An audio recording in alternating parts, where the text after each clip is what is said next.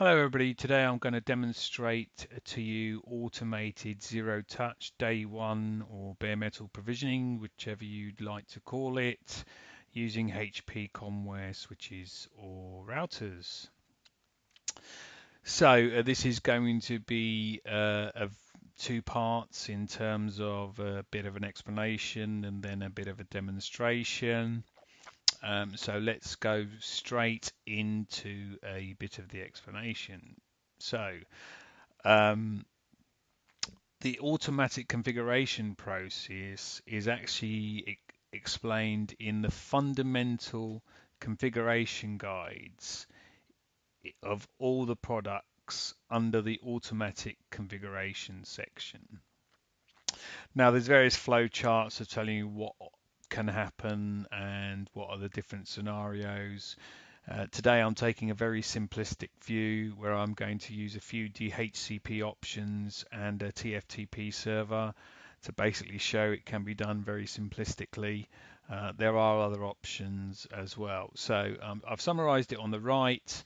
Uh, when you power on a device, the interface comes up, assuming it's connected to another device somewhere in the network.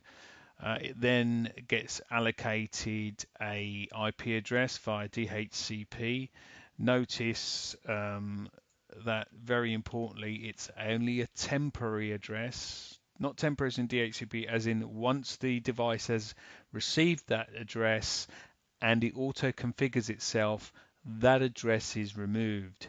So you have to ensure that your template is configured as such that it allows for that. Otherwise, you, you leave yourself uh, without any connectivity potentially, or there may be a scenario where you actually want to do that in a factory environment, take it away and configure that address. So the options available, but I'll cover that in the demo we push down our, our options um, or use options uh, from DHCP to cover that, which is option three, which is effectively uh, telling you about the default gateway.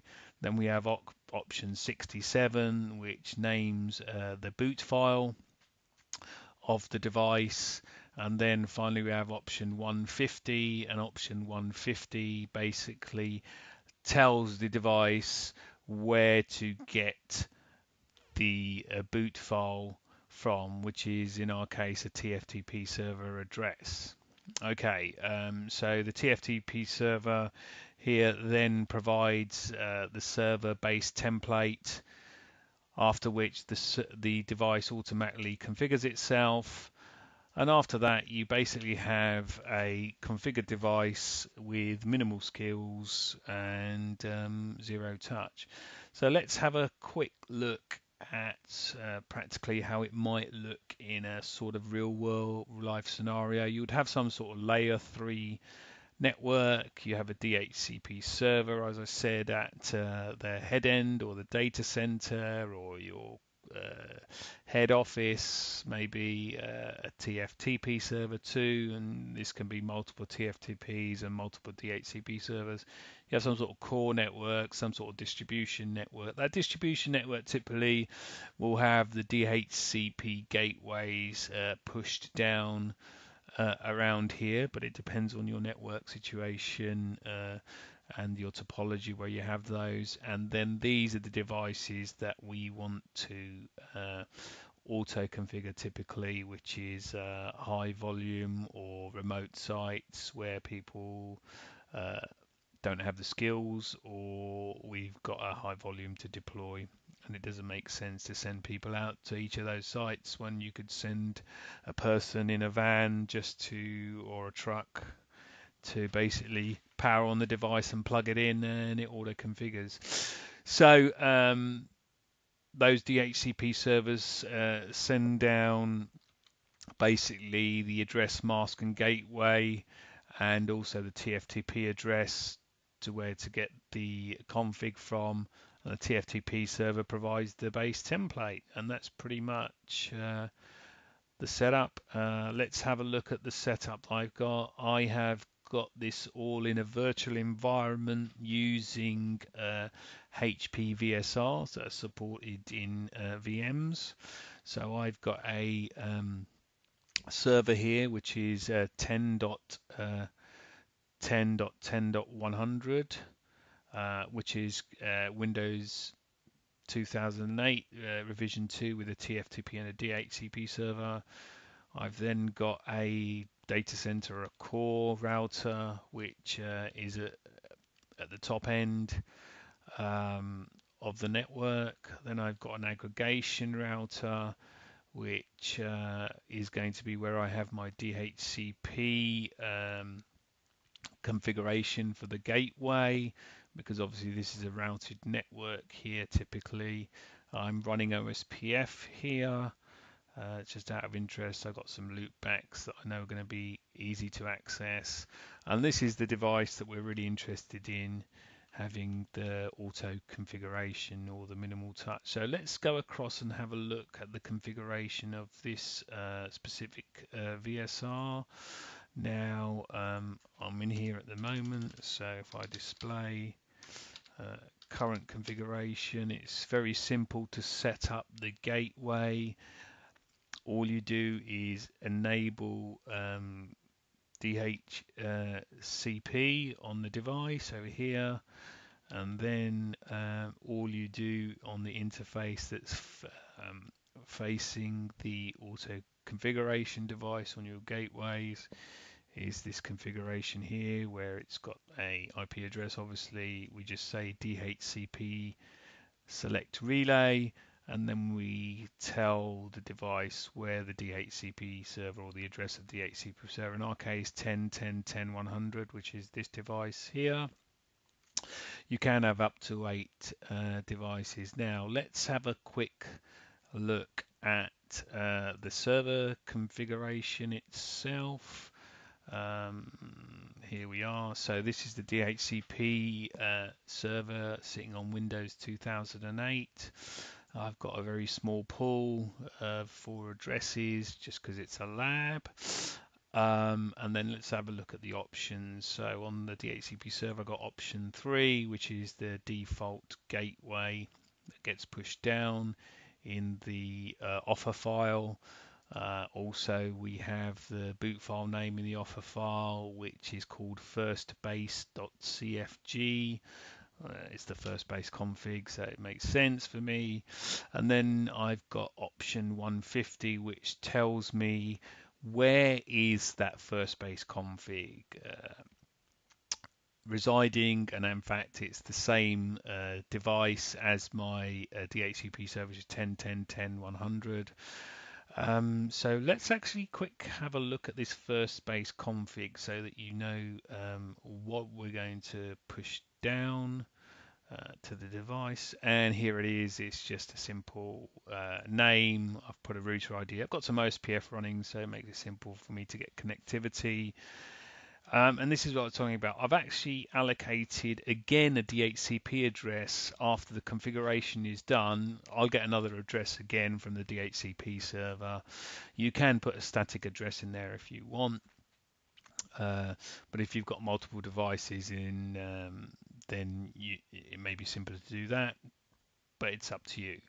I just enabled a bit of telnet so I can telnet to the device from my head end or my head office or my data center, and I've just allowed uh, telnet in and no authentication to to make things simpler. So let's go across to the device we're trying to, because it's a virtual world. I have the luxury of actually seeing it. Uh, powered on and as you can see this device is in uh, incessant loop effectively. It's now tried about 20 odd times to try and get a configuration but it's not um, done it at all. So um, it's in a bit of limbo and there it is. It's trying again and it's failing Okay, so we're going to uh, run the process now. I've explained to you what the setup is. Let's uh, go across um, to the server and start that off, but let me first uh, just uh, make it fresh as if we've uh, powered up the device. We're going to restart the uh, VSR, which is in the remote location that's powering up. Uh, let's start a bit of a capture on Wireshark so we can see what's uh, going on. Okay, I'm now going to activate the scope. So that should all be going. Uh, let's uh, go across to the VSR and see what's happening. So uh, first of all, what happens is the VSR comes up and the uh, uh, and the actual or, or, the router or the switch comes up, and typically first time uh, it's just getting ready and, and never does it. Well, the second time typically we will see that it kicks into life once it's got the um, DHCP address and it does all the configuration. So it's just a matter of waiting. Uh, here we are. Now you can see that the second configuration attempt, the interface has uh, gone up. It's enabled DHCP client. Oh, there you are. It's done it immediately. So you can see I've obtained an IP address 172.31.1.2. I've obtained a configuration file, which is the file that I specified, firstbase.cfg. So it's uh, basically looked at that uh, option in the offer, in the um, in the DHCP options, and then there is that option 150, which pointed to 10.10.10 100, telling me where the configuration file was, and I successfully downloaded the file from the TFTP server. Then, as I said in the explanation, we execute the configuration file, and that's done it. It says please wait, and it's all successfully completed. Now I could uh, just hit the return button and see there you are. My demo node has now been configured. Display current configuration. You can see it's got some configuration. If I go across uh, back to the server, um, uh, we could, uh, I could even, uh, I could already telnetted across to that. I think it's an old, I telnet across to that device. You can see I've telnetted across to that. So uh,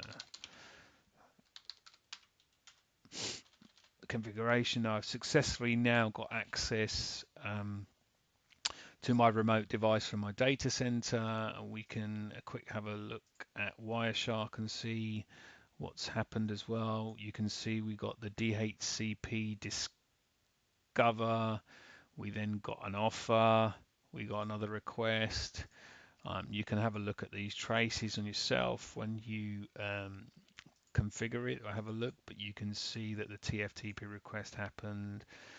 You got some acknowledgements. Um, pretty much the process is as we expected, and they and um, that really concludes that. So I've uh, demonstrated to you how to configure a device remotely using some really simple options uh, effectively. So where does that leave us effectively? Um, we've got base connectivity and uh, configuration has been achieved. So really what next? So um, you got, I guess, maybe two or three options, but if it's on a small scale, and you're doing this not very often, you can just manually configure the device uh, via SSH, Telnet, or SNMP. Um, and that's quite simple. Then you can update your CMDB and other systems to say that it's done. Or if you're doing it on a medium to larger scale,